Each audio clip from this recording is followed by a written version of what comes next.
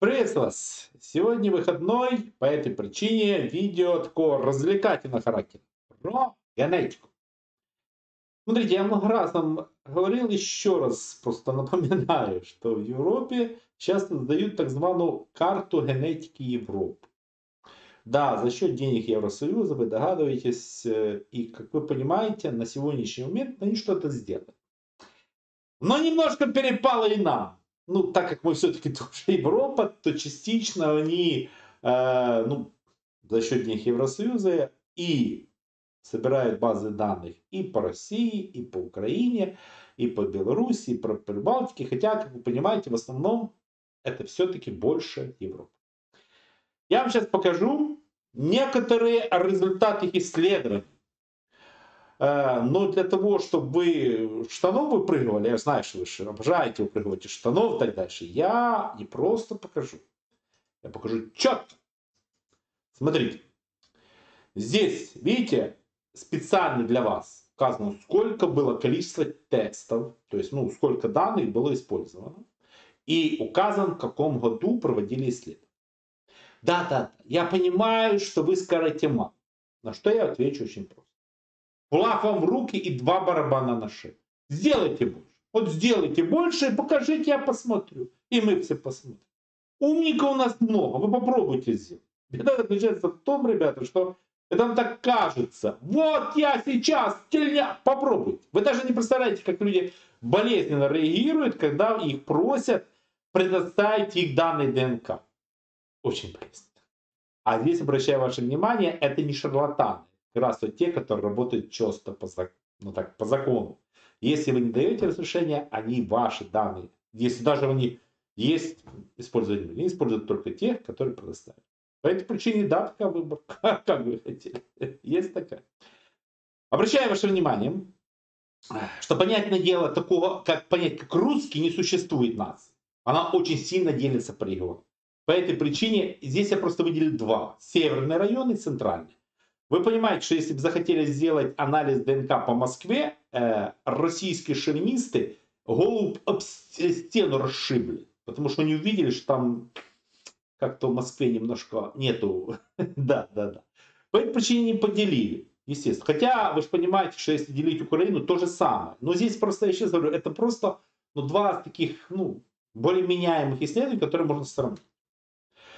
Сразу обращаю ваше внимание, здесь указаны только Y ДНК, то есть мужская линия. Есть еще женская, здесь нет женской. Ну, в данном случае здесь использованы. Ну, будет у вас деньги, проведите анализ, покажите. А здесь, да, мужская линия. Итак, все внимание на экран. Я э, понимаю, что вы, может, не совсем понимаете эти сверху буквы, но здесь есть еще одна проблема. Я знаю, как их произносить на английском языке, но я боюсь, что мои зрители начнут шарахаться. А, ну, к примеру, вот первое, видите, там, R, 1А. Ну, по-английски как звучит? А, A. А, а, да, по этой причине давайте так. Я буду произносить, ну, как принято у нас называть английские буквы. Я понимаю, что с точки зрения английского алфавита это неправильно. Ну, для понимания будем произносить так. Итак, ну, пропускаем первую колоночку, Идем второй. R1A. Y ДНК, который, как видите, ну, э, среди исследуемых, ну, грубо говоря, украинцев их довольно много, 43%. Ну, в России э, в северных районах 33, в центральных, ну, 47. Логично, вполне логично. Теперь вопрос, а что же это такое? Значит, еще раз рассказываю. Э, ну, вот эти все ДНК, это вот здесь показано как очень старый ДНК. Ужасно старый. До удурения старый ДНК. Ну вот, грубо говоря, вот этот набор как бы Y-хромосомов сформировался, согласно исследованиям, приблизительно 22-25 тысяч лет тому назад. Да, да, да, во времена каменного века. Как вы догадываетесь, ученые спорят, э, где же была прародина этого гена. Да, некоторые называют Передняя Азия, некоторые называют Средняя Азия. Можете сами поспорить. Ну, вы же понимаете, четко сказать случай. Но да, действительно, я говорю, вот этот как бы набор хромосом сформировался, ну, первый был. сформировался действительно вот очень-очень давно, в каменном веке. Да, после этого происходило ну, как бы перемещение, люди двигались, перемещались, смешивались. И да, действительно, вот этот э, R1A э, довольно много в Европе. Довольно много в Европе. Но смотрите, какая есть интересная еще такая табличка.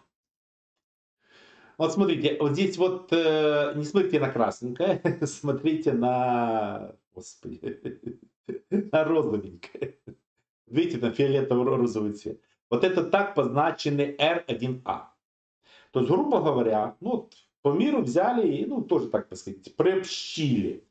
Что мы видим? Да, действительно, R1A есть в Евроазии. Не, в Европе есть, вы видите, он, смотрите, там и Скандинавии, Норвегии, в Швеции, да, да, да, да. Есть в России, ну видите, там даже сокращено. Да, довольно. В Казахстане, естественно, так дальше. Дальше идем Индия. Да, да, да, да, да. Довольно много вот этого аэродинамики. в Индии. Ну, есть гипотеза, есть гипотеза, еще раз повторяю, что на каком-то этапе вот эти вот пращуры, во времена каменного века, обращаю ваше внимание, начали дрейфовать одни в Европу, а потом с Европы начали дрейфовать в Индию, ну там где сейчас Индия. И по этой причине, да, на сегодняшний момент, как вы видите, вот в Индии довольно много наших родственников. Но, опять же говорю, это с точки зрения очень далекий Ужасно далеко. По этой причине, да, действительно, на сегодняшний момент, на сегодняшний момент сказать так, что этнически граждане Украины и России близки благодаря индийским родственникам. Идем дальше. Опять же, э, я знаю, что звучит I, назовем его И, как у нас принято. Но здесь, смотрите, видите, 27%, ну, имеется в виду э, с выборки получается. Да, не плюсуйте все проценты, я говорю, с выборки берется. 27%, да, действительно, ну, у украинцев есть этот Y-хромосом, I. Но здесь, э, смотрите, видите, в северных районах меньше, а в центральных немножко больше в России. Там 16-14. Что же это за такой ай? Чертовски, чертовски интересный показатель, ужасно интересный. Знаете, смотрите. Возможно, вы слышали неандертальцев. Слышали? Но как же вы не слышали неандертальцев? А слышали кроманьонцы? Не слышали? Нет?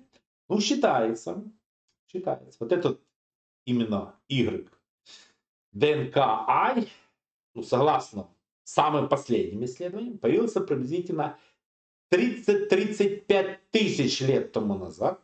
И считается, что как раз вот кроманьонцы, которые пришли в Европу, когда там были неандертальцы, имели вот этот ген. Вот это считается как бы черта, которая объединяет тех кроманьонцев, которые появились в Европе во времена неандертальцев. Ну, что вам сказать? Ну, мы к родственникам припнули. Да, понятное дело, вы же понимаете, они же не просто пришли. Да, смешались, перемешались, остались. По этой причине нет ничего удивительного, что на сегодняшний момент ну, в наборе хремов, хромосомов и украинцев, и русских есть кроводенцы. Да, есть, как видите, есть. Ну, то, что украинцев больше немножко, чем русских, нет, разницы особо не имеет. Ну, в принципе, Просто мешались немножко по-разному. Дальше. А вот дальше показатель очень чертовски интересный. Но опять же, назову его, как у нас написано, A1B или B. Значит, смотрите. Видите, у нас 7,4. Ну, а в северных районах вообще 0,3. А в центральных, ну, в России, видите, 5,2. Но чем интересен этот показатель A1B? Это показатель, который показывает, что к Африке мы имеем самое прямое отношение. Считается, что этот э, набор хромосом появился где-то 50 тысяч лет. 50-47 тысяч лет, ну тому, да. Появился в Африке, в районе Эфиопии, ну и со временем переместился. Но это считается один из самых старых. Вообще, э, смотрите, какая ситуация. Ну, перемещения же не всегда происходили э, и по-разному. Причем, э, смотрите, какой нюанс.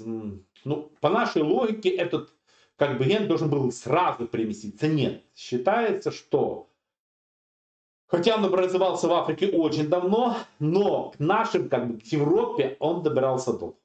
То есть он не прибежал сразу, сначала были другие, а он потом как бы накатом подошел. Да, не удивляйтесь. Почему удивляется? Опять же спорят.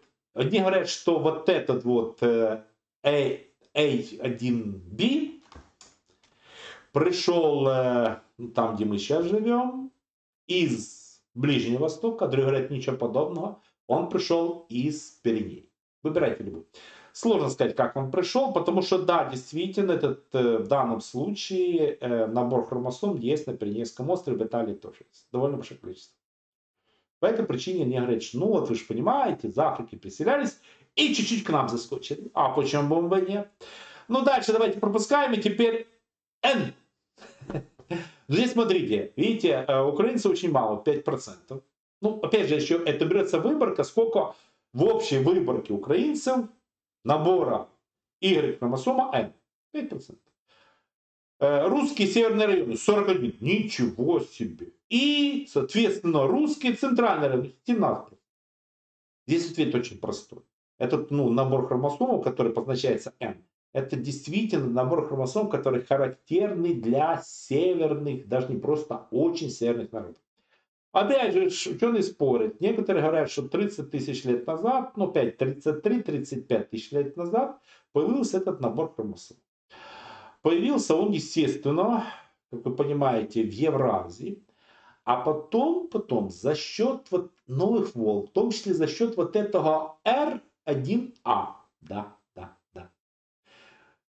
N был вытолкнут на Дальний Север. Но чтобы вы правильно поняли, вот этот набор хромосом объединяет очень много где сами, э, потом, естественно, немцев, э, ну, людей с севера, скажем так. Вот те люди, которые живут на крайнем севере, вот у них как раз вот этот набор хромосомов очень большой. По этой причине нет ничего удивительного, что русские, которые живут на севере, северный район, они действительно большой набор хромосом, ну, так сказать, северных народов. Да, это есть. Ну, они же, понятно, больше контактировали, общались, встречались, мешались и так дальше. Естественно, что с Украиной тоже мешались, но поменьше. Такая ситуация. Вот такие вот исследования. Еще раз ваше внимание говорю. Смотрите, генные, ну, чтобы вы правильно поняли, вот эти все исследования, они более-менее показывают очень, очень стабильно. Потому что все, что я вам рассказывал, вот эти хромосомы образовались во времена каменного века. Да, да, да, после этого происходили модификации, изменения. И сейчас, если вы вот залезете, э, ну, скажем, в исследование, вы обратите внимание, что вот таких показателей, как там R1, 2, нет. Там у них начинается R1, 2, B, 2, B, 3, C, там длинные. Плюс в некоторых случаях, э, так как оно еще больше использует, ставят буквы, ставят еще цифры. То есть на сегодняшний момент модификаций этих наборов такое количество. Что А это я вам показал такие самые первичные, основные, ну скажем, вот такие пращуры, пращуры, которые едины. Вот они, да, действительно объединяют. Да, действительно. Вы как сами понимаете, во всю историю человечества идет массовое перемещение народа. Сейчас идет массовое перемещение народа. Если вы, например, сами себе сделаете ну, тест ДНК, вы, наверное, обратите внимание, что у вас, скорее всего, ну, я, конечно, не знаю вас точно, но, скорее всего, у вас, наверное, будет R1AB или A. А. Возможно, у вас будет вот этот африканский, не удивляйтесь, да. Э, может быть, действительно какой-то сервер и так. Просто у вас вот этот набор здесь, который есть, видите здесь, может немножко отличаться. Где-то больше, где-то меньше. Но в принципе, да, действительно, это вот набор, э, который характерен, ну даже скажем, для Евроазии. Понятное дело, что если вы берете Америку другие, там немножко другие наборы. Вот такие эти гены. Вот такие эти родственники. А вы что думаете? Благодарю за внимание. Пишите комментарии. Ну и, как бы сказать, это все старина. А современный мир, как же все меняет.